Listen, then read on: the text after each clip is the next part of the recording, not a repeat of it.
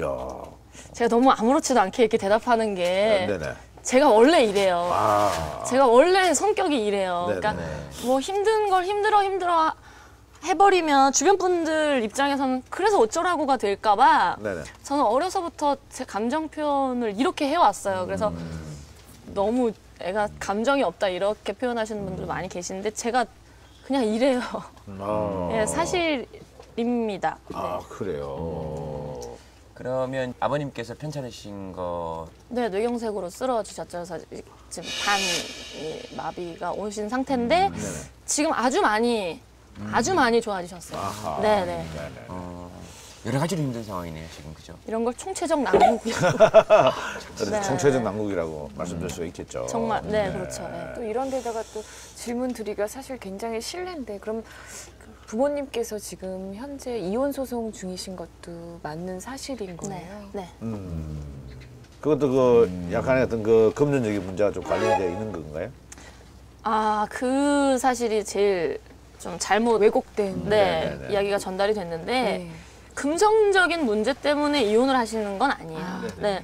두 분의 문제가 따로 있으신 아하. 거고 돈은 어떻게 보면 제 문제인 거죠. 네네네. 제 문제인 거고 그 부모님의 이유는 분명히 따로 있는데 그거는 말씀드리지 않는 게 맞는 그렇죠, 일인 것 그렇죠. 같아요. 네. 예, 부모님 일이고 그러니까 네. 순서도 뭐 금전적인 일이 있고 아버지가 그 때문에 쓰러지셨고 그 아하. 때문에 이혼을 한다라고 알려졌는데 네네. 아버님이 먼저 쓰러지셨고 아하. 그 후에 이혼 소송이 시작이 됐고 음, 네네. 그러고 나서 제가 정리를 하던 와중에 금전적인 상태가 아하. 이렇게 됐다라는 걸 제가 알게 된 거예요. 근데 뭐 실제로 많은 돈을 벌어가지고 부모님께 집도 사드리고 또 편찮으신 부모님 건강을 위해서 또 찜질방까지 이렇게 만들어가지고 해줄 정도로 아주 대표적인 이제 효녀였는데 가족과 떨어져 살게 된이 상황 때문에 좀 마음도 많이 아프시겠어요?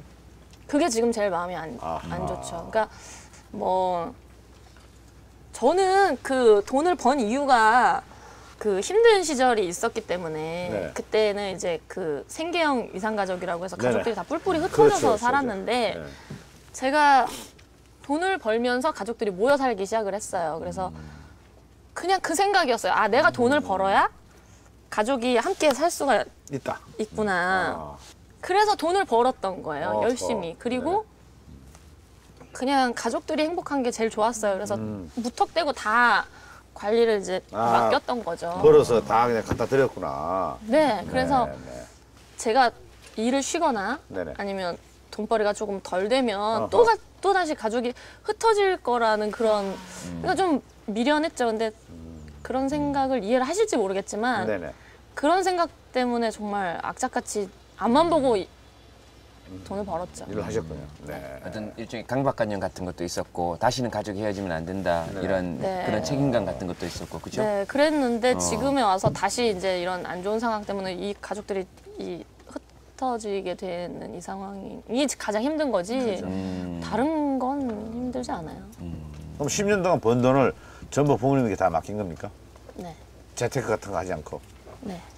그게 너무 그게 사실은 그 사회적인 경험 없이 갑자기 이제 돈을 많이 벌게 되면 이 관리한다는 게 참 힘든 일이에요. 뭐 사실 그래서 제가 저에 대한 기사들을 보면 뭐 제가 지구를 몇 바퀴를 돌았다, 하루에 네네네. 수입이 얼마다, 뭐 아하. 이런 아주 자세한 기사들이 그렇죠, 그렇게 나오는 걸 보면 제가 내가 이래요 그걸 보면서. 어. 그러니까 그만큼 저는 제가 얼마를 벌었는지도 몰랐고 어. 그리고 10년이라는 시간을 차곡차곡 일을 했기 때문에 네네.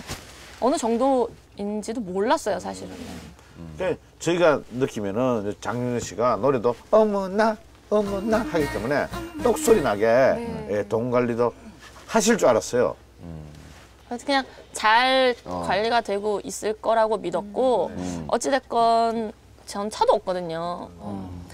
보석도 잘 모르고. 그러니까 전 돈을 쓸 데가 없어요. 저는 밖에 나오면 매니저가 밥 먹여주고 다옷차 입혀주고 채워주고 옷 입혀주고 하니까 꾸며주고 이러니까 그렇죠. 돈쓸 일이 없어요. 연예인들이 사실 돈 쓸. 일이 많지가 않잖아요. 뭐 맞아요. 차에 욕심이 있거나 뭐 명품에 욕심이 있거나 그러지 않고서야 큰 돈 쓸 일이 없잖아요. 근데 그저 누구 밥 사주고 네, 그래서. 저는 뭐 술 한잔 하는 거 좋아하니까 뭐 지갑에 한 20만 원 정도씩 들고 다녀요.